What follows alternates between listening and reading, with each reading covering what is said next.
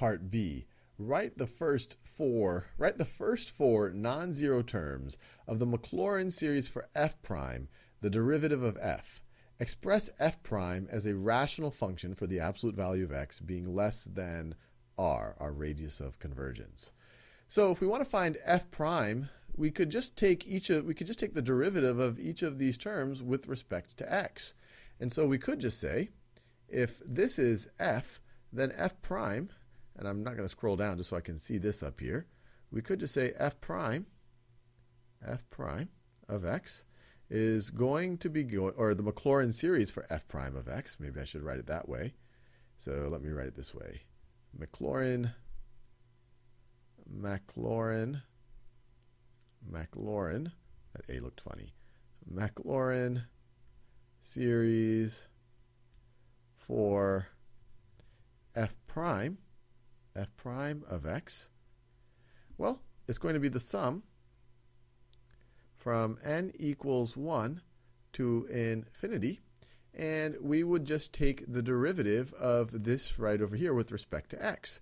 And so this is just application of the power rule. Take the exponent right over here, multiply it by the coefficient. So if you take n times this, it cancels out with this n. So it's going to be negative 3 to the n minus 1, and then decrement your exponent times x to the n minus 1. And so they want us to write the first four non-zero terms of the Maclaurin series.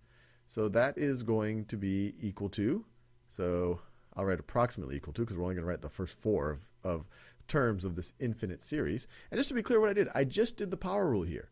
I looked at this exponent, which is n, multiplied by this coefficient, which had an n in the denominator, so that n and the, this n cancel out. So I'm just left with negative 3 to the n minus 1. And then I decrement that exponent. That's straight out of the power rule, one of the first things you learned about taking derivatives. And so if we want the first four non-zero terms, when n equals 1, this is going to be negative 3 to the 1 minus 1 power. Let me just write it. Negative 3 to the 1 minus 1 times x to the 1 minus 1. That's when n equals 1. Plus negative 3, negative 3 to the 2 minus 1. 2 minus 1 times x to the 2 minus 1. And then, and actually I could, well, I could have just written this as negative 3x to the n minus 1. Actually, let me, let me do that just for, so this is, this I could just write, since they have the same exponent, this will simplify it a little bit, as negative 3x to the n minus 1. And so this is going to be approximately, when n is equal to 1, this is going to be equal to 0. So negative 3x to the 0th power is just going to be 1. When n is equal to, when n is equal to 2, this is going to be 2 minus 1. So it's going to be the first power. So negative 3x to the first power. So I could just write this as negative 3x. And then when n is 3, well, this is going to be negative 3x squared. So negative 3x squared is going to be, negative 3 squared is 9x squared. And then the fourth term is going to be negative 3x to the 4 minus 1 power, so to the third power. So negative 3 to the third power is negative 27 times x to the third power. So there you have it. That's the first four non-zero terms of the Maclaurin series. You could have also just looked over here and said, okay, the derivative of x is, with respect to x is 1. Derivative of negative 3 half x squared with respect to x is negative 3.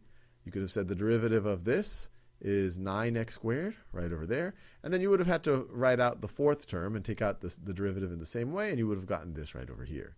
So we did the first part. We wrote the first four non-zero terms of the Maclaurin series for f prime, the derivative of f. And then they say express f prime as a rational function for the absolute value of x being less than r. So this sum, this sum, if we assume it converges, and we know the radius of convergence already, so, or assuming that we're dealing with x that are within the radius of convergence.